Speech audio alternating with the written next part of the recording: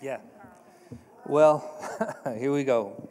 Um, like the rest of the crew, I, um, I don't have a speech prepared, but uh, my wife tells me just to speak from my heart. So I'm going to do that and um, say that this is, uh, first and foremost, I mean, it's an honor, a pleasure to be here with the rest of these inductees.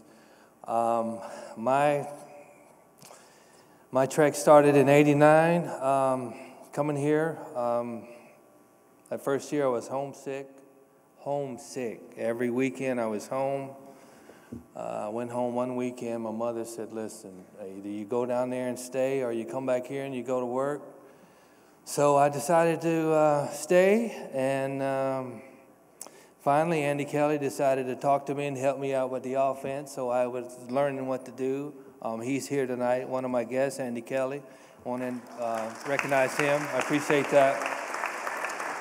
But uh, it's just uh, definitely, uh, I mean, I didn't do this by myself. Um, I've had a good background, I've had some good people around me. Um, I've had some good, strong people around me. My mother. Um, I'm 53 years old, and um, to this day, Mom, you still know best. I don't know how, but you still know best. Um, I love you with all my heart. Um, my sister right there, uh, the minister, Denise Godey. Um, my biggest fan. Uh, my wife right there, Tanya.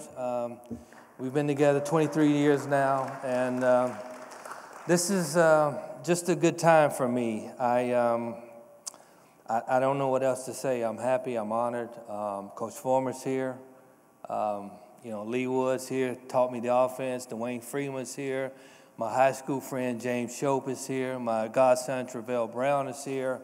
Just, um, it's very warm and welcoming here, and um, I appreciate all the love, all the support, and um, um, I want to give a special thanks to my dad who couldn't stop be here. He's no longer with us. Um, Lance Corporal in the United States Marine Corps, uh, combat technician in um, Vietnam.